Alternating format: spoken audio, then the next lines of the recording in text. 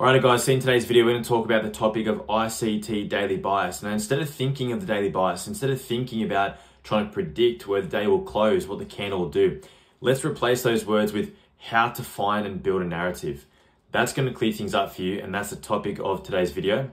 With that being said, let's get straight into a few examples. So I'm going to break down how to find a narrative into three simple questions. Question number one is, what has price done in the last few hours? Question number two is, what is price currently doing? And question number three is, where should price go based on the previous two questions? So let's jump straight into the charts. This is an example from the 16th of the 10th this month, and this is from the London Open session. But keep in mind, this kind of thing will occur every single session. Ask yourself these three questions. Number one, as we talked about, is what has price done in the last few hours? Looking at the charts here, what has price done in the last few hours? We're currently sitting in silver bullet. Imagine this is where you get to the charts, right? You get to the charts at this point and you're thinking, what has price done? Price has left relative equal highs. Number one, relative equal highs become a nice, good draw on liquidity. So you've got relative equal highs there, number one. What else has price done? Price has actually come down, right? So we've left relative equal highs, but price has actually stepped its way down. Now, a lot of people here thinking, oh, I need to look for shorts, I need to look for shorts. But the question you got to ask yourself is, have we swept liquidity on the way down in this move? And the answer here is yes. When you look at price action, what has price done in the last few hours? Well, guess what? We've swept sell side, we've generated low resistance, and we've just been trickling down. Automatically, I then ask myself, could we potentially reverse? Could we potentially retrace from this point in price action? Now, to answer that question, and the answer is yes, I've got to think about number one, where are we sitting in the range? Or number two, have we swept time based liquidity?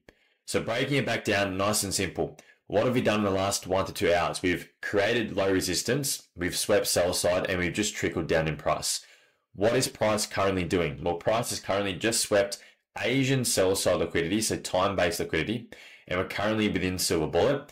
Where do I expect price to go? Where would I like price to go? I'd like price to reverse and at least pull back up into this swing high to this swing low, back up into the halfway point of that range.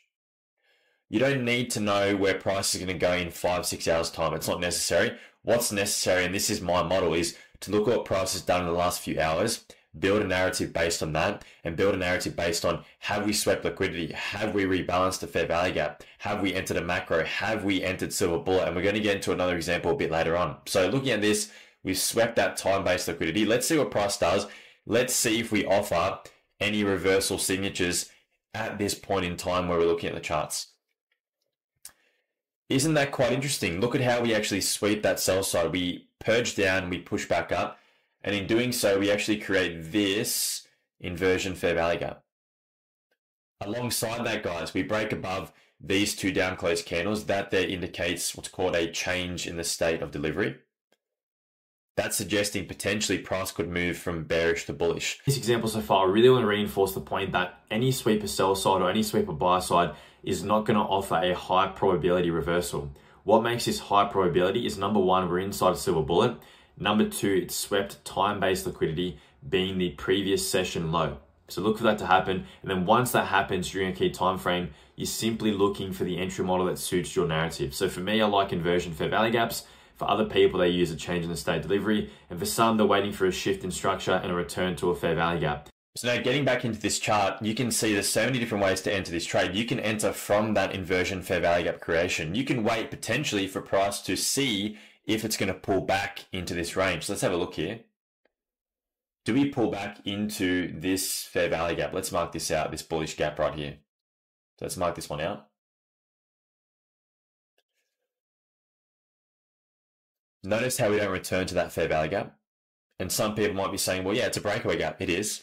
Other people are waiting for a return back to this bullish gap. And this is one reason why I like to use inversions and potentially the change in the state delivery because this is an advanced market structure shift. So like I mentioned before, it's not just any sweep of sell side or buy side. It has to be some important buy side or sell side during a key time frame. Ask yourself those three questions. What has price done in the last few hours? What liquidity has it left? Where's it moved to? What's it swept?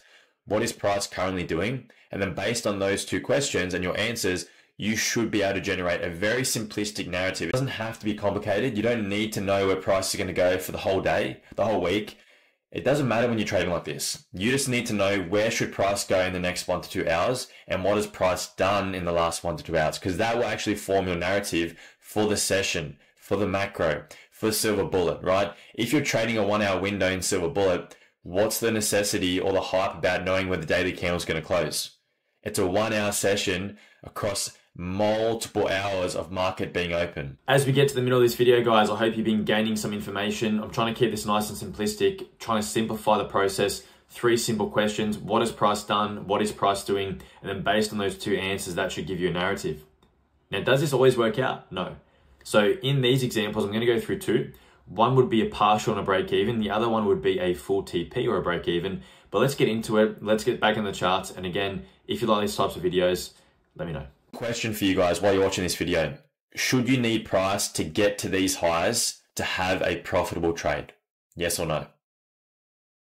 For me, the answer is no. I'm not going to expect or assume that the market 100% needs to get here. It should.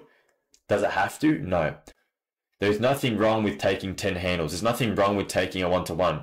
There's nothing wrong with taking partials here, partials here, and then leaving a runner to see if it wants to get to these highs. Because imagine you're targeting this buy side. You're in the trade. You're now at break even. Your stop's been removed. Your risk has been removed. Price taps into that premium city. Price pushes higher quite a little bit. Does it sweep that swing higher? What happens here? You're going to be sitting in a trade for over one hour now, watching the price go so close to your TP, you could have taken a partial or a profit. But what'd you do? You got greedy and now you get stopped at break even. So this is just a classic example of you have to pay yourself as a trader. Is it always going to work 100% of the time? No. Are you always going to get these massive pulls? No. But this is the beauty of how I trade in this model, this strategy. And sometimes it's not going to run exactly to where you want it to run to, but allow yourself to be 50% right and build a strategy that allows you to actually do that and still be profitable. Do not build a strategy that requires you to be 100% right. I must get a 1 to 5, I must get a 1 to 4, I must hit here to make profit. Flow with the market, take what you need, take those partials, and pay yourself. But with that being said, let's get into example number two. And this example would be a full take profit using a very similar strategy, but in this case, we're going to talk about ICT dealing ranges. Let's get into it. So let's talk through another example here. This is from the previous day, the 15th, and let's assume you apply the same strategy. This here is your Asian low, and again, Asian session lows are from 7 till 12. That's why I like the class as the Asian session. The question for you is this. Imagine price is sitting right here, right? Price is sitting right here, and you're thinking to yourself, okay, we've just swept Asian lows. Could we have some reversal? Could we have some reaction? Asking yourself those three questions. What has price done? We've swept Asian lows. What is price currently doing? Well, we've got to wait for a signature. And in this case, we've got an inversion fair value gap right here. Where do I expect price to target? Buy side liquidity. It's a very, very stock standard model that after sweeping Asian highs or Asian lows, there's going to be some kind of pullback or retracement. Your job is to wait for that to be swept and then look for the price signatures. This is important. Look for the price signatures when or if that gets swept. If price were to do this, crucial, if price were to do this, do I want to take a reversal after sweeping Asian low? The answer is no. I will then be targeting any other sell side points that rest here. But if we have a reaction during a key time frame after sweeping key time based liquidity, I'm going to be taking the trade. Keep it mechanical, but keep it flexible, watching the price action, watching what price is doing. Now we've got that little inversion fair value gap here. That gives you an entry to go long. Your long position comes from here, or you can wait for a dig back down, or you can pyramid back into the position as we pull down. Stop goes below the body right here. And for me, if you're a part of my Discord, you know I like to target 10 handles for my first TP level. Then most of the time I go to break even depending on what the market structure is doing. Price runs 10 handles, what's to do? Comes back and it would stop me at break even. For other people, that trade here would not be a break even trade. And maybe they'd take a little bit more in the market because they target these relative equal highs here. Ruben, like my idea was wrong. I was meant to try longs from that point and the example we just went through previously, it's like, yeah, we hit one TP and then we got stopped to break even. It doesn't mean your narrative is incorrect. The market's going to flow. There's different points where the market can react from. And I'd be writing this down. I like to look for reactions after either sweeping time-based liquidity from a 15 minute fair value gap or from optimal trade entry. That's where I look for reactions. That's when I ask myself these questions. That's when I ask, what is price doing? Where has it moved? Where should it move to? If I get a reaction from this zone, I'm taking a trade, provided I've got a clear draw on liquidity. So in this example, you can see, right? This one would have been a TP or a break even, and that's completely cool. But we still have the rest of the London Open session, right? So when you're watching price, price and mucks around here, you're probably glad that you're out of the trade because this is really easy to get chopped up in. Price then pushes down a bit further. And you might be saying, well, why does price react from here for? Why do we actually react from here? Why don't we come lower? And this is where the dealing range theory comes in, or ICT dealing ranges. Now, for me, I keep it nice and simple, right? I keep it nice and simple. Swing low, swing high. Draw my Fibonacci from those points, mark that across. And I ideally want to be taking longs in a level of discount and shorts in a level of premium. Really important. Write that down. Notice how we react from this zone here. Really important too. In this zone, this is what you have to do. Ask yourself those questions. Again, one, two, three. Number one, what has price done in the last two hours? Price has accumulated and now manipulated. Where has price manipulated to? Into optimal trade entry. Based on those three things, we're now waiting for these reversal price signatures. Where are we going to target potentially? These relative equal highs that are generated previously in that chop that we were a part of. So keep that in mind. Keep that in mind. You don't have to be right 100% of the time. Inside this fractal, we can see we've got that internal sell side sweep, right? Internal sweep of sell side.